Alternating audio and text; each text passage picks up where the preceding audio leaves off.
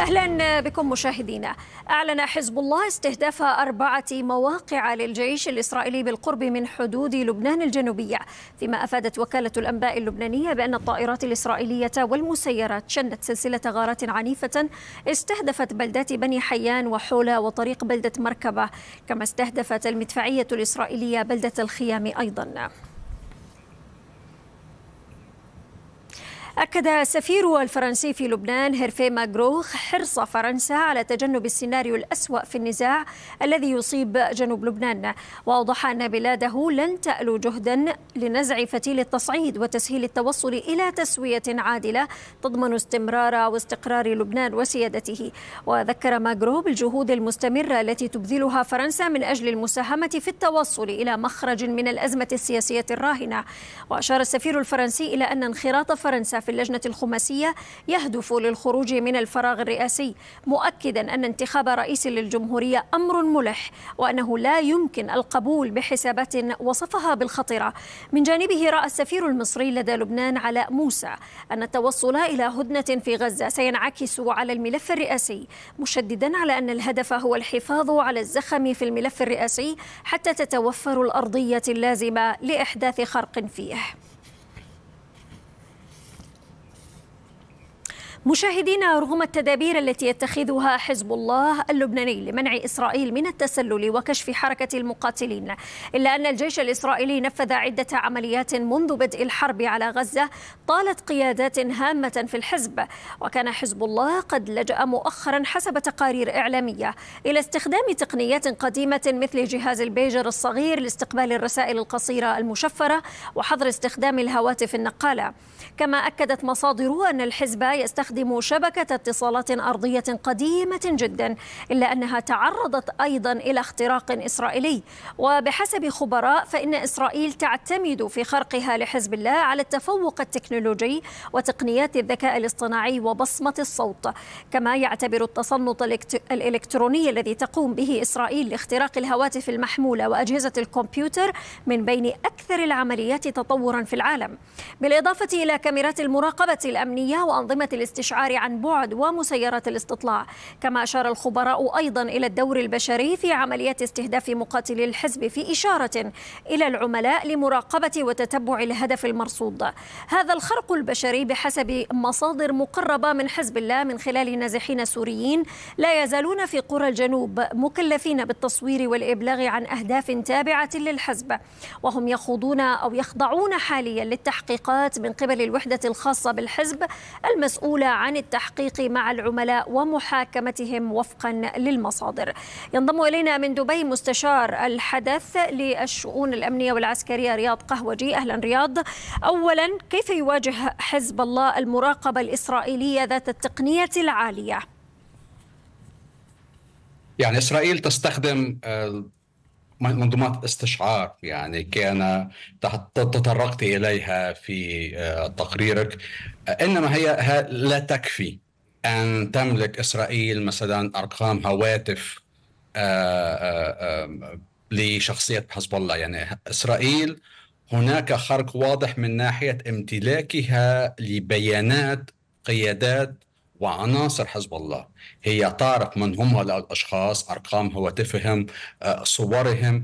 هذا ما يمكنها من مطاردتهم وانتقائهم في أماكن تواجدهم عند عمليات الاغتيال. لا يكفي أن نقول أن هناك قدرة لإسرائيل على اختراق الهواتف.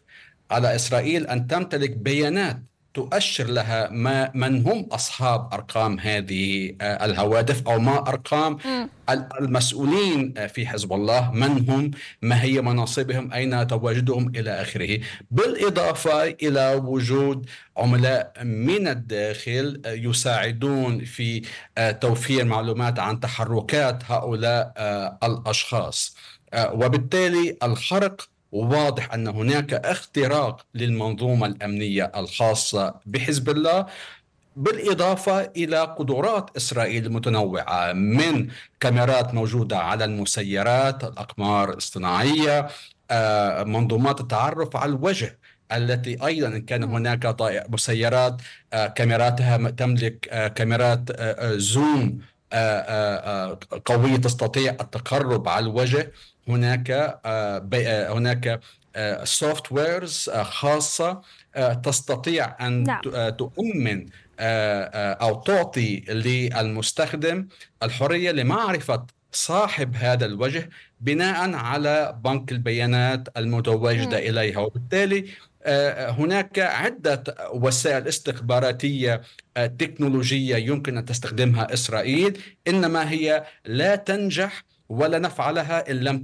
إن لم تملك إسرائيل البيانات الخاصة بعناصر ومسؤولي حزب الله. طيب هل يتمكن الحزب باستخدام التقنية القديمة بأنه آه، يتجنب هذه الاختراقات أولا؟ الأمر الآخر قبل قليل كان معنا الدكتور محمد المصري من من رام الله. عندما تحدثنا على الاختراقات التي ممكن أن تقدم عليها إسرائيل مع المقاومة أو حركة حماس والفصائل الأخرى لم تنجح بشكل كبير بل صار العكس. يعني أنه حماس هي من اخترقت الترددات والاتصالات وعطلت الكاميرات في السابع من أكتوبر. كيف نقرأ بانه الحزب بتقنيته القديمة التي ممكن يكون فيها نوع من التضليل لم ينجح حتى الآن ونفهم بانه الجانب الغزاوي ينجح بينما من المفترض أن تكون الكفة مختلفة أو المعادلة مختلفة بين الفصيلين. عند وجود منظومات إلكترونية آه، تستطيع اختراق هذه المنظومات عبر وسائل إلكترونية. يعني الهاكينج آه، آه، يكون ممكن عبر وسائل إلكترونية مضادة. آه، إن قمت بنفي الوسائل الإلكترونية يعني عدم استخدام الوسائل الإلكترونية كافة لا يصبح بإمكان الخصم اختراق منظوماتك لأن منظوماتك لا لا لا وجود للأجهزة الإلكترونية آه، داخلها ومن هنا حزب الله يعود لمنظومة الأنالوج اللي هي الأسلاك الاتصال الاتصال عبر الأسلاك يعني نظام نعم. الهواتف السلكية. آه، وليست الهواتف اللاسلكية. هذه هي المنظومة التي عاد هواتف أرضية يعني بس عشان نفهم هواتف, هواتف سلكية. أرضية طب الهواتف ال... أسلاك آه، آه، بال fiber optics. يعني حماس في الأنفاق لديها كان هناك هواتف سلكية بين. بين منفذ وآخر تؤمن تواصل بين عناصر المقاومة.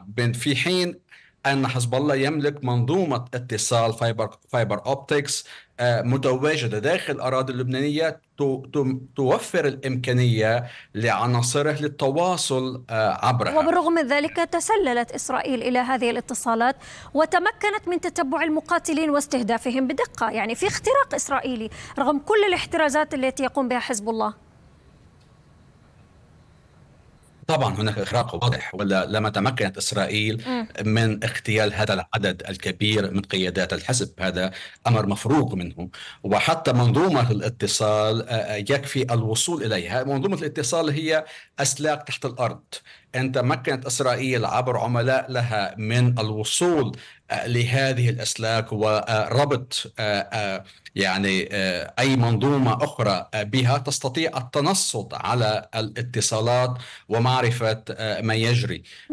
وبالتالي للحزب اليوم يستخدم يحاول اللجوء إلى وسائل قديمة تخفف قدرة إسرائيل على معرفة تحركات عناصره وقياداته.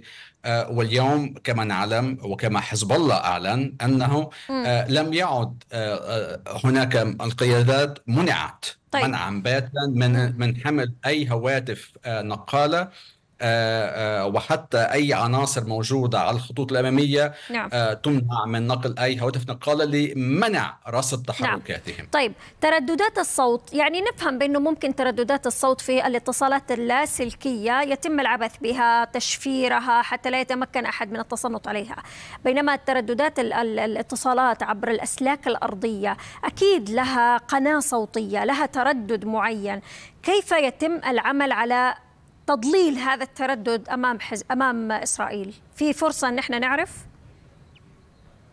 يعني هي عادة بعض الأشخاص يقومون بإضافة آه، كواتم على الهاتف لمحاولة تغيير آه، الصوت. هناك تكنولوجيا آه، لتغيير الصوت الجهة و يعني إضافة بعض طبقات تغير البصمة الصوتية أو تجعل البصمة الصوتية من الصعب اقتفائها.